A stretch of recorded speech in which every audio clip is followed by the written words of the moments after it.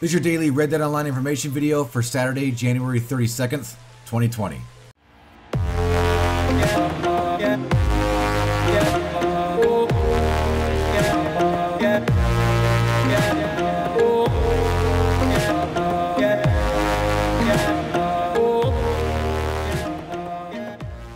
Howdy Cowpoke, Austin BMX here, and thanks for checking out today's daily Red Dead Online information video for February 1st, 2020. Can't believe it's February already. I didn't want it to happen, but it is. So, uh, there it is.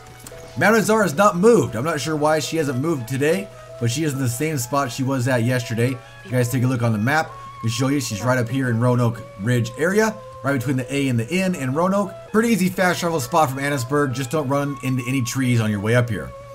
Now before you come up here, make sure you get the weekly set from Madame Nazar.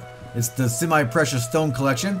We do have one of your spots right here, right next to the A in Annesburg, uh, right on the other side of this road. I think it's right on the edge of this cliff, right on the other side of a log. Should be a dig site for you.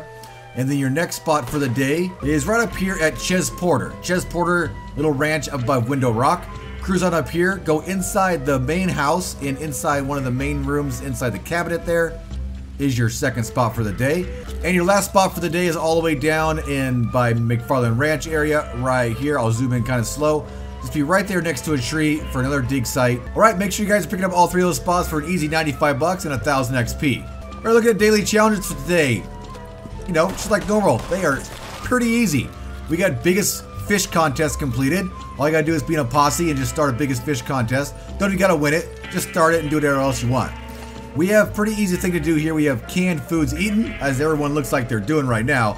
They're getting that challenge done pretty dang easy. We do have one cormorant cat plucked.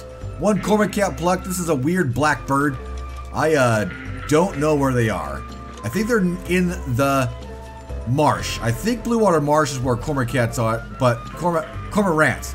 Cormorant, cormorants. It sounds like a really weird bird. It is. They're hard to find. There's no animals in the spawn anyway in this game, so yeah, that was going to be hard to get that thing plucked. We also have drink orders at a saloon times five. Looks like everybody behind me has already had their drinks for the day because they're all uh, doing some weird shenanigans back there. We also have three player kills with a pistol in showdowns. Make sure you own a pistol for that one. And three player kills with explosive in showdowns. So showdowns are going to be some uh, pretty explosive times today. Easy one for today, we have visit a shop in Blackwater. Moving on to our rank 20 role challenges for today, we have complete special moonshine recipe. We also have craft toxic moonshine, and we have two moonshine of preferred type sold to a buyer. For traders today, we have 20 carcasses donated within 10 minutes. Can be any carcasses you want, so I highly recommend filling your satchel up with small little birds if you can even find some stuff and uh, get those donated quickly. We do have 20 donations to Cryptstone. This could be anything. I usually use feathers because I usually have quite a lot of feathers. Donate 20 feathers and get some gold. We do have six perfect carcasses donated to Cripps. I think my wagon is full of five perfect Panthers right now. So that might be pretty good to do that. Then we have two collectibles found with the metal detector for collectors. We also have collector maps used times three. I mean, you can trade some cash for gold if you're really into it. And we have lost jewelry found which if you use those three locations I gave you earlier for the weekly set, you should get that one done. Alright, and last but not least, for bounty hunters today, we have bounty targets tagged with tracking arrows.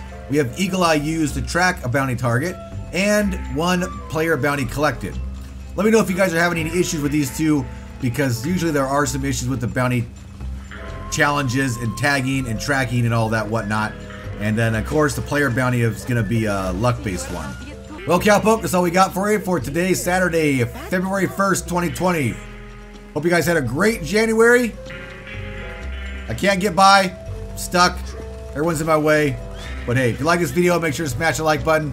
If you're new around here, consider subscribing to the channel for more Red Dead Online content, including tips and tricks, news updates, gameplay, just good old-fashioned fun.